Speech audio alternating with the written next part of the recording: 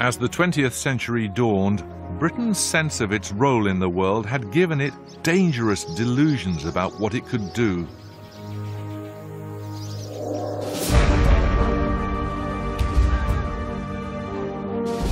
World War and its aftermath would expose these delusions in a merciless fashion. The First World War stretched far beyond the mud and trenches of Northern Europe. It reached into the streets and deserts of Palestine and the Middle East.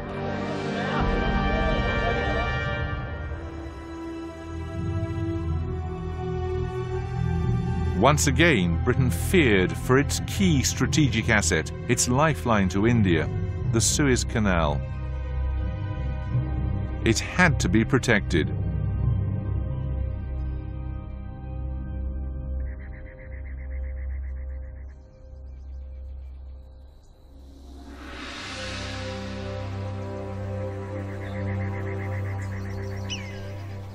The region was ruled by Britain's war enemy Turkey. In their desert conflict with the Turks, the British needed allies. The Bedouin tribes of the Arabian desert knew this arid land and they knew how to survive in it. If they could be encouraged to rise up against the Turks, they might prove invaluable. But who could unite them?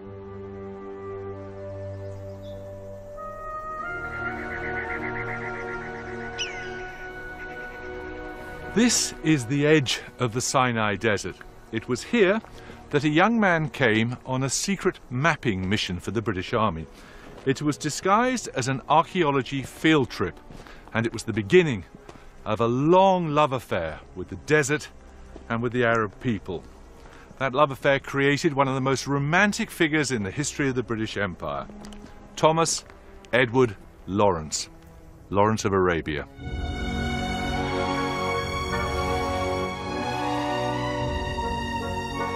Lawrence, the illegitimate son of an Irish baronet, scholar, archaeologist, linguist, was just the man to charm and inspire the Arabs into a desert revolt.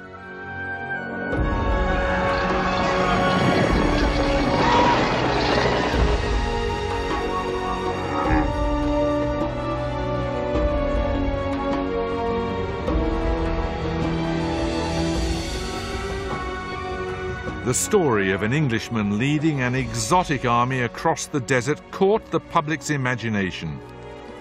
In contrast to the mud and murder of the Western Front, here was a sweeping campaign fought in blazing sunlight. And here too was a different kind of imperialist. Romantic, idealistic, dashing, and slightly nuts.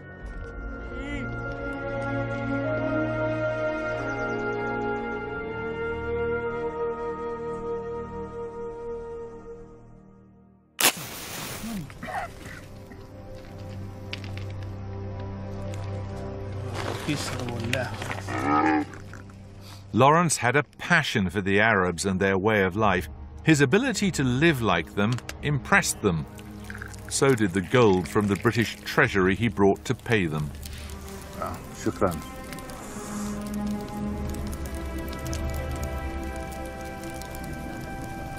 And he gave them something more, a belief in themselves as an Arab nation. As his masters in London had hoped, he coaxed them into fighting with the British with the promise of their freedom once the war was over. הוא נראה כמו שייח של השייחים, ככה, עם הלבוש הבדואי. Do you think he was a good man? Yeah. Why? אה, איך אומרים? איזה... איך אומרים? גבר. לא חשוב מה, הת- מה הכוונה. He was a real man. הוא גבר, לא משנה מה, מה התפקיד שלו, הוא אחד כזה שחשוב. אז אה, אחד כזה אתה נמשך אליו, אתה קורא עליו, אתה רוצה לדעת מי זה האיש הזה. Do you think that the promises that he made were ever kept? שום דבר ב- באזור פה לא... לא- שום הבטחה לא התקיימה. פה באזור. Lawrence promised his Arab fighters freedom from foreign rule. They believed Palestine would be theirs. There would be many more promises made, and just as many broken.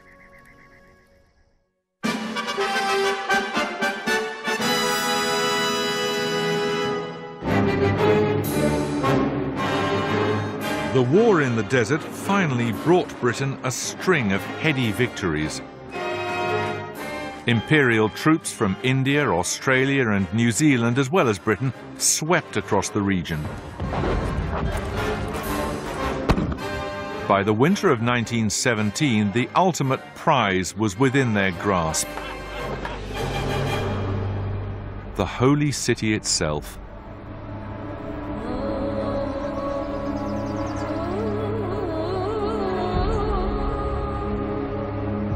And so was born the dangerous conviction that the interests of the British Empire and the will of God might be one and the same.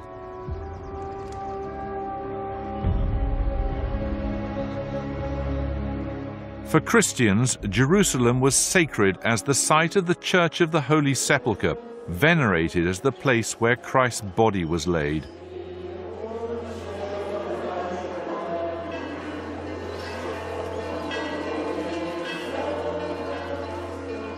But Jerusalem was sacred to other faiths too.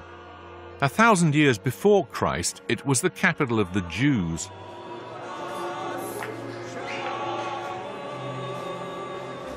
Sharing the city with the Jews in relative peace were the Arabs, for whom Jerusalem was one of the holiest cities in Islam.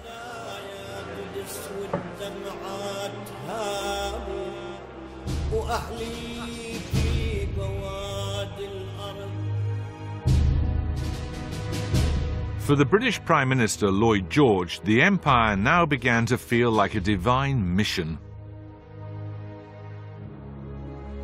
Most British political leaders had been brought up on the Bible. They were steeped in its geography, and as for its history, well, Lloyd George claimed that as a boy he knew the names of the kings of Israel long before he knew the names of the kings of England.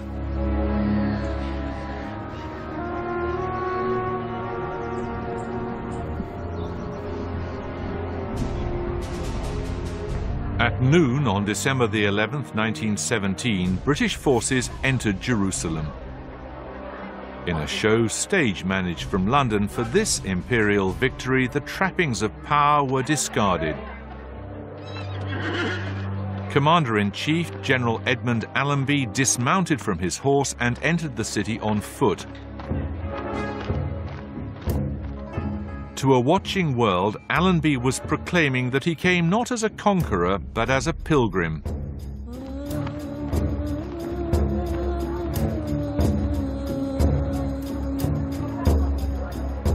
Behind him, in borrowed army uniform, was a jubilant Lawrence. But his joy would prove short-lived. On the walls of the city, Allenby ordered a solemn proclamation from the British government to be read out.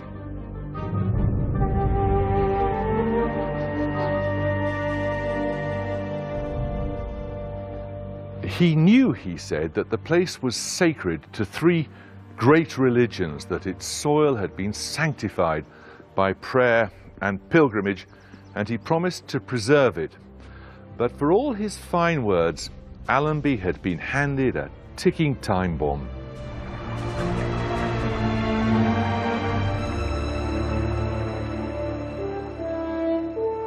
For back in London, the British government had just gone even further.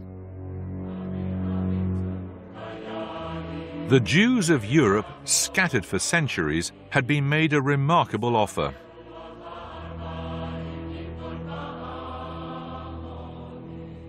In the Balfour Declaration, the British Foreign Secretary committed Britain to helping the Jews make a home in Palestine.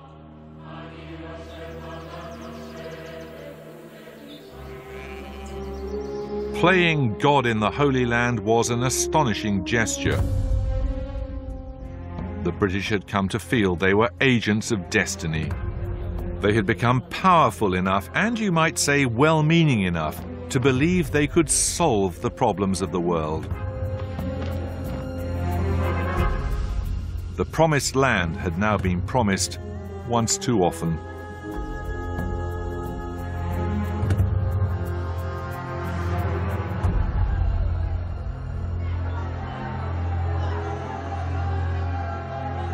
Over the next decade, as more and more Jews arrived in Palestine, tension between them and the Arabs rose. It came to a head at the Wailing Wall in the heart of Old Jerusalem.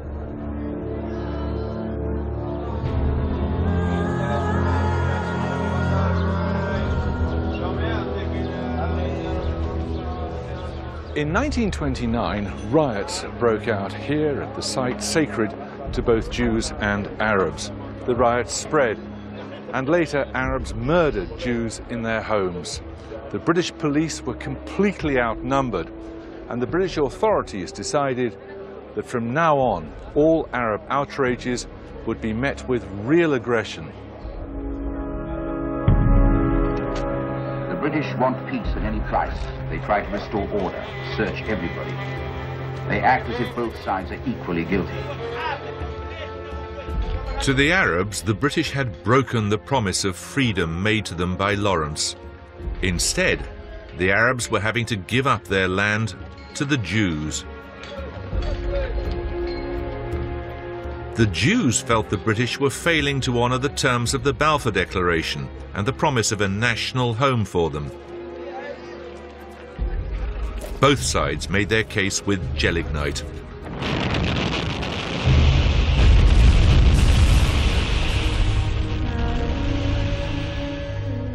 Both sides committed appalling atrocities.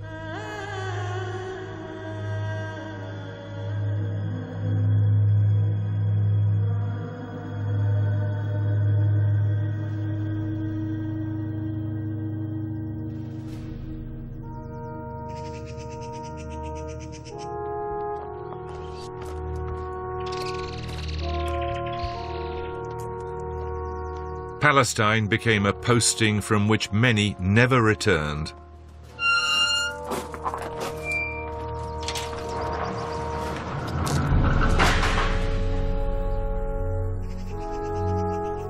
The Protestant cemetery on Mount Zion is full of British graves.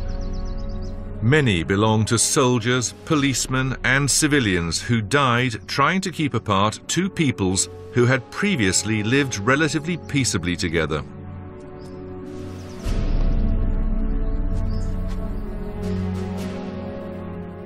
After a while, you begin to notice one date keeps reappearing. The 22nd of July, 1946.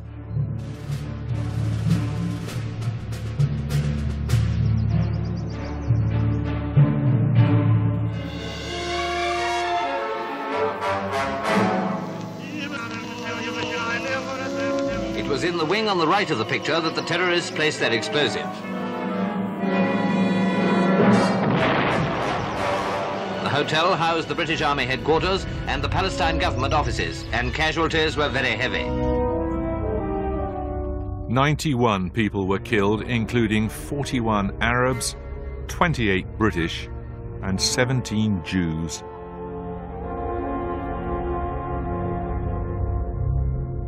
Sarah Agassi was 17 at the time. She was a member of the team of militant Jews who bombed the King David Hotel. Pretending she was just attending a dance, she scouted the hotel for the terrorists, deciding where the bomb should be placed. So they came down here with Yeah. the with the bombs, and then and then what to happened? the ho- to uh, the place where we not no it's not here there Through there. of course it was open Do you recognize it? yeah of course we came from here This was the place that you had been looking at when you Yes. came dancing that day. yes here here was the bar and here was the orchestra and all this was very big and we danced a lot of chairs and uh, tables beautifully lamps and everything was very Now, beautiful wh- where were the bombs put? into this uh, columns. This is a, one of the columns that supports the whole hotel, I guess. Yes, or yeah. this corner of It's not one, one, two, three, but four, five. Five columns, five bombs.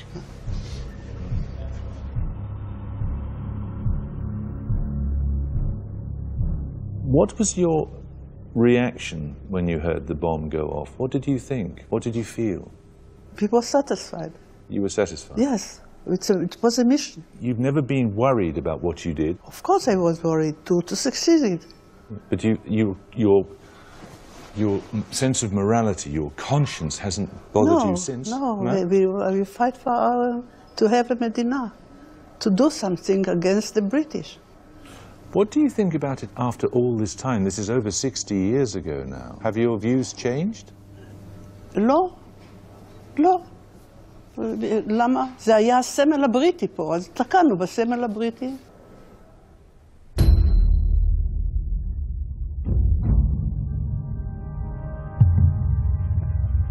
Do you not feel any thanks at all to the British? I mean, without the Balfour Declaration, there would have been no Jewish homeland in this part of the world. זה גם היה האינטרסט של ממשלת הוד מלכותה להיות פה שליטים. Sure. The motive is neither here nor there. I mean, it, it, whatever the motive was, do you not think that the Balfour Declaration, the right of the Jews to have a homeland נכון. in It Palestine, was a good start, that was a good thing, wasn't it? yes. And are you not grateful for the British for that? אפשר להגיד תודה, זה לא בעיה.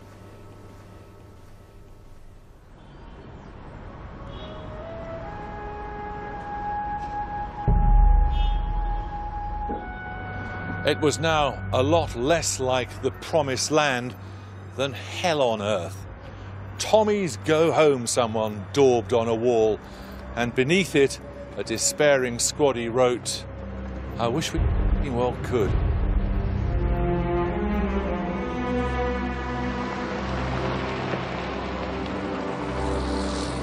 What Lawrence called the British love of policing other men's muddles had proved a disaster.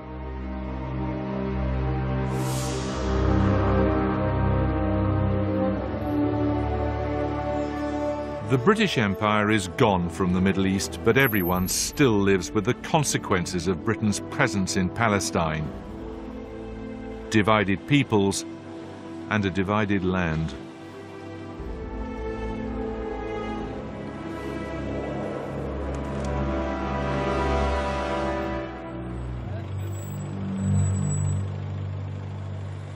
The Middle East taught the British a lesson that all empires have to learn sooner or later. That though you may begin with ambition and come to believe you'll last forever, one day you will have a head on collision with reality.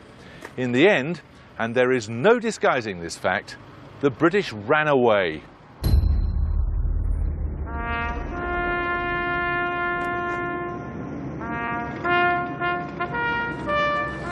It was May 1948.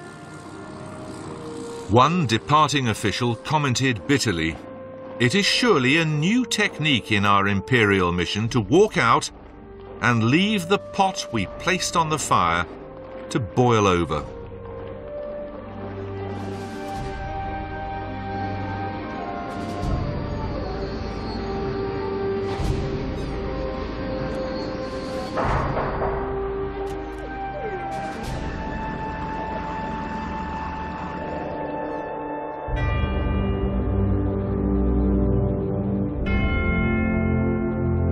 The bluff of British omnipotence had been called.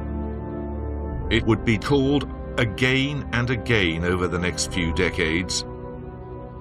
The empire that had lasted more than 200 years would be dismantled in scarcely 20.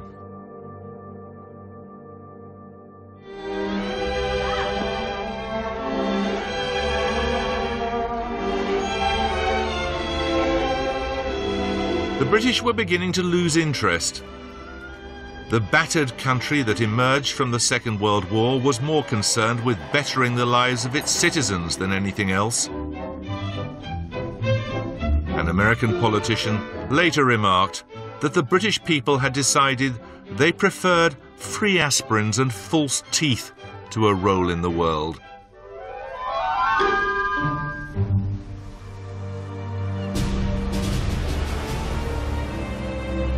But it hasn't entirely turned out that way.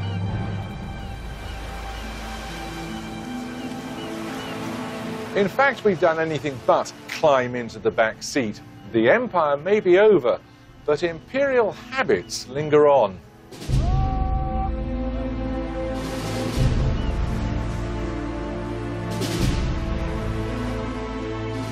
In the last three decades, Britain has embarked on seven foreign wars.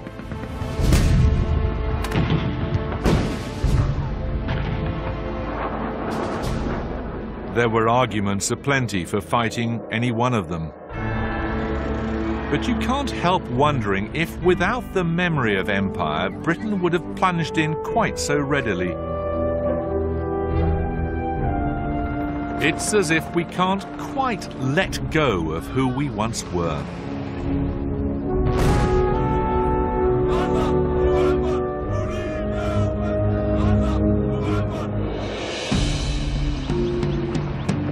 Still to come, how Britain grew rich on profits from the drug trade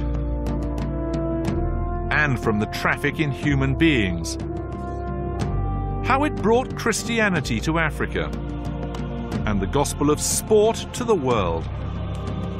And next time, how British men and women made themselves at home in the far-flung colonies of empire.